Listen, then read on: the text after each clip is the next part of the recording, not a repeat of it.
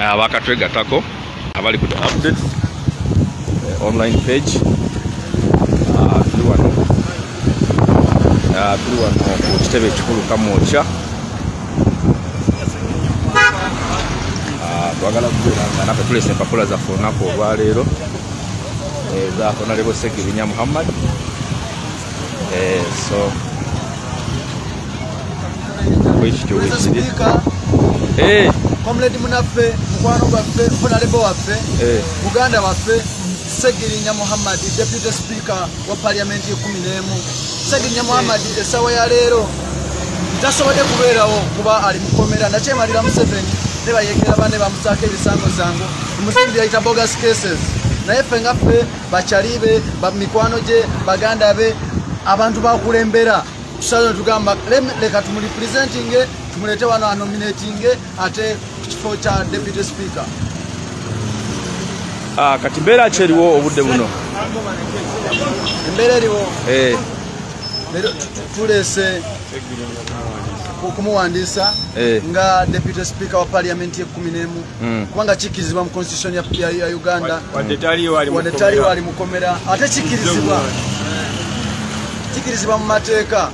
Kati ngaffe abantu be ngaffe tuliko no- tulina omuyambi we naffe mikwano gye na- naffe abantu bakulembera segirinya muhammadi tuvudde netugamba katuje abantu bekawempe twagala naffe omubaka waffe ajje yesimbewo mu palamenti ngoye bino ebiriwo olwa sipiika okugenda lyagenze mukama yamuyise. Twagala n'omubaka waffe wadde ali mukomera eh, twagala naye tumuyirewo omubiri gye tuzze tumuwandiise Omuyambi we- kimanyi atulaba yonna gyali abeere mugumu tugenda kuba tetugenda kuzikisa mutalo okutwala obwa deputy speaker. Eva mach nga nukutuli bangi tukimanyi twakuyezedde aba- aba- a- abasajja aba- ab'enyaremu beera bagamba bonna akalu bagenda kawa deputy speaker honorable seginya muhammad ali mu nkomyo era wamala okulayira ku kifo ekyo tusubira agenda kutindiga agenda ate agire mu bitiibwa bamutwalira mu bukubi era agire mu bitiibwa. Ne sipiika era tusazeewo naffe nga wemagidi wesi batandike n'omwe. Omu yabayogera. Musalewo omu yabayogera. Bakwate bonna. Amanyi agange nze alex ruswa luwemba omuyambi wa honorable segirinya muhammad. Olunaku olwaleero tusazeewo okulaba nga tuleeta empapula ezisaba ekibiina kya nup okubeera nga zendoosinga honorable segirinya muhammad ngaolunaku olweggulo lwe yabadde ah, ng'asinziira mu kkomera ekigo n'asaba ekibiina kye kya national unity platform kimusembe asobole okuvuganya ku kifo ky'obwa deputy speaker obwa palamenti ey'ekumi n'emu. Era naffe nga abasigire aba pa tusazeewo olunaku olwaleero tuleete empapula zino olwaleero ku kitebe kisobole okubeera nga kimuyisaamu kulaba nga avuganya ku kifo kino ekyobwa deputy speaker era nga mu kkowe lyerimu ne muganda waffe alan sewanyana naye yeesimbyewo ku bwa sipiika wa palamenti ey'ekumi n'emu. Abantu babalaba nga abali mu kuzannya. Abantu abatulabanga abali mu muzannyo abo tubasekeredde busekerezi kubanga bano balina eddembe lyabwe eryebwe bange eribaweebwa ssemateeka okulaba nti bavuganya ku kifo kino. Kubanga ababaka ba palamenti balonde era tewaliiwo ngeri yonna yonna gye bayinza bayimirizaamu. Kulaba nga beesimbawo ku kifo kino kubanga balondebwa bantu. Ate era ne palamenti baagala okufuula palamenti y'eggwanga uganda. Palamenti ey'abantu palamenti eyimirirawo ku lw'abantu. Nga tukulembeza deputy speaker uh, honorable segirinya muhammadi twagala palamenti eno ekolere abantu. Palamenti efaayo ku lw'omuntu wa bulijjo. Palamenti egenda okulwanyisa obulyake palamenti egenda okufaayo ennyo okulaba nga evumirira e- efuga palamenti egenda okufaayo ennyo okulaba nga erumirirwa eddoboozi lya- ly'abasibe nze alex ruswa luwemba omuyambi w'omubaka muhammadi segirinya ndi Rasa Thomas amanya. Ze honorable councillor bagonza thomas yankiikirira abantu bewandiikira okuva mu kawempe mu kawempe division mu kampala olwakolayo tuze nga okusubmitinga ebbaluwa eziraga ah, eziraga obwagazi bw'ababaka okuli alan sewanyana ne segenya muhammad abali ah, mu kkomera ekigo okwesimbawo mu kalwa akagenda mu maaso ak'obwa sipiika wa palamenti kimanyi bulungi nti bano babaka ba palamenti abalayira Ah, era semateeka ba bulungi obuyinza okulabika nti besimbawo kuba first qualification ate era bazze basabe flag ya national unity platform ne forces of change zonna okulabika nti bakulemberamu mu lutabalo luno okuwangula obwa sipiika kono kwa deputy speaker. Honorable segenya muhammad ye expresses interest kuwa deputy speaker ya parliament.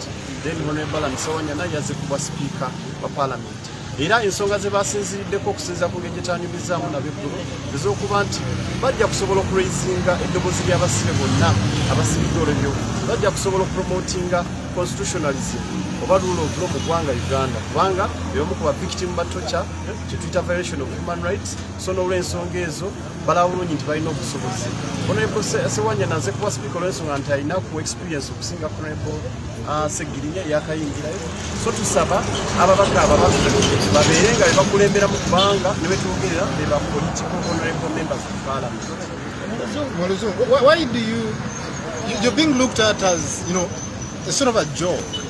Uh, actually, this is a serious matter because these letters are official and have been by personal assistants from the office of the honorable members of parliament. Was on record yesterday that they instructed their councils to report yesterday. So, and it is their constitutional right to stand and participate and also vote on behalf of uh, the constituents of their electoral area. So that's why we are basing on this so that they can exercise their constitutional right. And we also have a copy to the clerk to parliament uh, they've also written to, to the clerk to parliament to ensure that they liaise with the Uganda Citizens uh, Service to ensure those parliamentarians participate in the election and also stand as candidates in the same election. so th- this is stage one. Stage one, what yeah. if they don't go through? Uh, of course, we are hopeful because there are potential candidates who are eligible to, to participate or stand that election, and they represent that real image uh, of, and, uh, of, of honourable members who can stand in that place, especially when it comes to your position in the parliament, because they have been jailed uh, for a very long time and subjected to all kinds of torture and injustices. but but what you didn't answer my question this is stage one of the primaries. What if they don't go through here? In case they don't go through, uh, we, they are loyal members to the party and they, they, they may not go past uh, the decision of the party. But yeah, so we shall await the outcomes of these party primaries, but they've expressed interest as per the National Unity Platform Constitution. what makes them outstanding for this position of speaker and deputy First, uh, the Honorable Sewanyan and Segirinya have been jailed beyond uh, the constitutional period uh, in jail and over politically motivated charges. And uh, the, the, the House has kept somehow silent. We appreciate the, the opposition MPs who stood and, uh, uh, and uh, demonstrated in demand or in protest of the incarcerated honorable members of parliament. Uh, so this is enough, and they've had interactions by the time they've been in prisons with several uh, Ugandans who are victims of injustice and delayed justice in prisons. so then what do you think makes them out the, like the best candidates What, what makes them the best candidates is that first they come to uh, a party which has uh, the leading number of MPs, and we are already in talks with, as a party we are what I expected you to say was they are victims of human rights abuses that, because that's what you said in Luganda Exactly, they are victims. What makes them more uh, outstanding in this race is that they are victims of torture, justice, and delayed justice uh, as parliamentarians. things with parliament. Exactly. Yet Parliament, the house that they were sent to by the, their constituents, is there to enact laws and enforce laws of human rights and other respective, respective enactments made by the same house. Your names again and the title. Bagonza Thomas also city councillor and one Bagonza. Bagonza hmm? Thomas.